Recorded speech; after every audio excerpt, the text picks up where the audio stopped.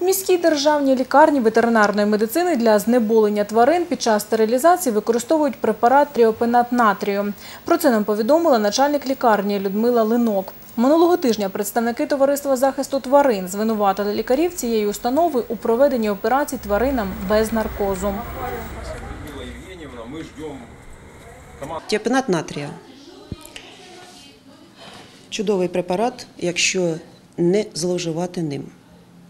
Ним працює Біла церква, ним працюють у нас в Сумах. Він пройшов дослідження е, в науково-дослідному Львівському інституті. Він коштує недорого. За 30 флаконів, отриманих у жовтні місяці прошлого року, ми заплатили тисячу 117 177 гривень. Для державної установи це невелика сума, підйомна.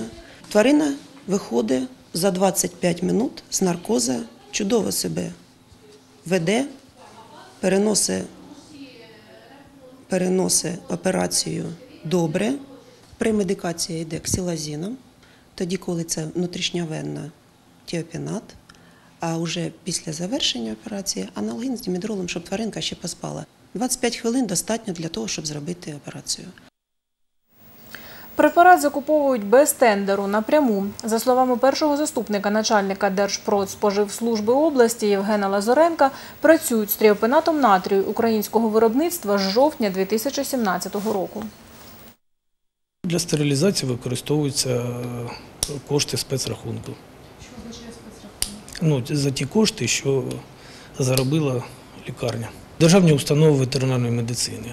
Вони мають право безпосередньо закупувати ліки. Кошти виділяються, вони самостійно їх е, заробляють, можуть цього е, фонду використати для придбання цих препаратів. Із використанням тріопенату у державній ветлікарні Сум простерилізували станом на 24 липня 19 собак і 4 кішки. Із партії в 30 флаконів мають залишок в 11.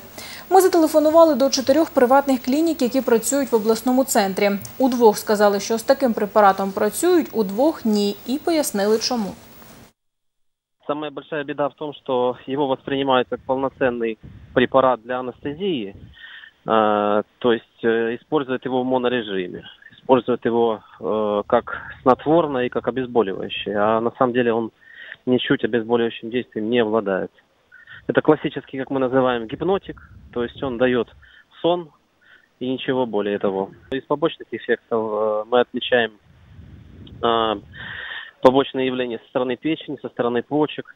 Также он угнетает дыхание, поэтому при проведении э, наркоза этим препаратом требуется дополнительно давать кислород, потому что может наблюдаться гипоксия.